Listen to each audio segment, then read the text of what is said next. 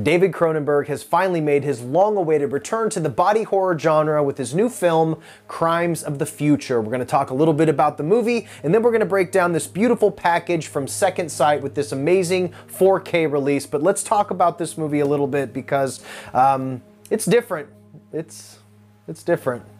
Crimes of the Future feels like the kind of dream that you really, really want to wake up from. Originally titled Painkillers, David Cronenberg's alternate future piece manages to wrap a social commentary inside a fever dream of dark humor, sci-fi horror, and gives us a glimpse of what a dystopian future of post-consumerism could feel like, and Cronenberg's film feels more prescient than ever. In this world, people feel no pain, they consume plastic as nourishment, and our main characters perform public surgery as a form form of performance art and entertainment. Viggo Mortensen's character is afflicted with what Cronenberg calls accelerated evolution syndrome, causing him to spontaneously sprout new novel organs, which are then removed and tattooed in front of a wide-eyed crowd like some kind of post-apocalyptic freak show. To drum up tension, a subplot of characters harvesting organs, as well as a police force attempting to stop this seedy underground art world, are included, making this bizarre story even further realized. By the time this film's credits roll, you may have more questions than answers, but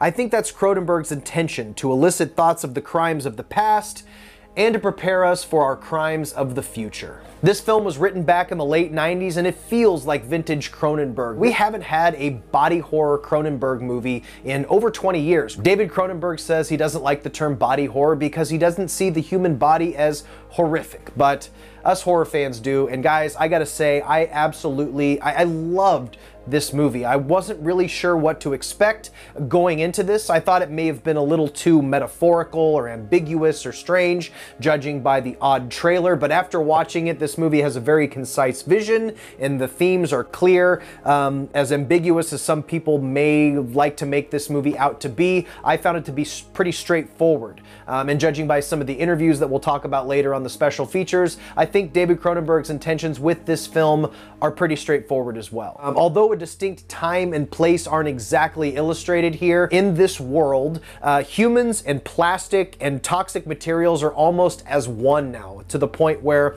some humans are actually living off eating and consuming plastic in the form of this bizarre purple candy bar that you see these people eating. And this movie feels like both a version of the future and the past, an aesthetic that David Cronenberg and his son Brandon have somehow crafted. There's nothing to date this film as far as modern technologies or any sort of uh, culture references, although there's a TV here and there, they look like relics of the past. The only technology we really see are these futuristic technologies that uh, manipulate the body while it sleeps and eats. There's a couple of examples of this as Viggo Morton struggles to consume organic food. He's in this bizarre chair, and it all looks like something H.R. Giger would have designed from Alien or something. It's super weird, and I kind of loved every mesmerizing, stoic second of this movie. Vigo Viggo Uh, performance is so it's just mesmerizing has his own body this new evolution um, that's being described in this movie where we start to live off plastics and shit. Viggo mortensen's character is almost caught in the middle of this evolution. There's so many motifs and things that david cronenberg has referenced in his older films having to do with these body horror aspects that it just felt like coming back home. This movie could have easily been made and released by cronenberg in the 80s or 90s it's uh, that of its time. It's, it's really, really great. I highly recommend it. And I had not seen this movie. I didn't catch it in the theaters. Um, I didn't watch it until this movie arrived from Second Sight. Uh, and I'm so glad that I picked it up. Now, as far as the picture and audio quality, this movie wasn't shot on film. This movie was shot digitally, so it's uh, inherently clean. It wasn't in need of like a big restoration, but as far as what it'll look like on your TV, to me, it, it looked beautiful. It really did. This movie kind of lives in the shadows, so the HDR and the high definition really really helps you kind of uh, make sense of these really dark frames that kind of populate most of the movie. Uh, the scenes that do take place during the day or outside, they look they look great. Um, there's not a lot of color in this movie. There's only a handful of scenes where there's any color. This movie is filled with grays and creams and browns and black. As far as the audio, this is a very quiet movie. There's a, a brilliant score by Howard Shore. This jingly jangly, tingly kind of weird theme that goes through it with some nice sub drones.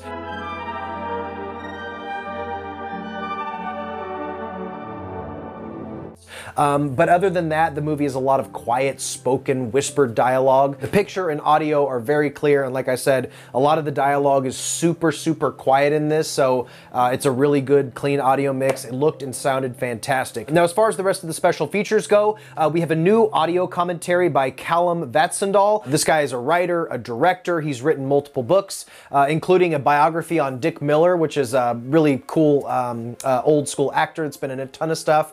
Um, and he also wrote a, uh, book covering the history of Canadian horror. So this guy knows his stuff.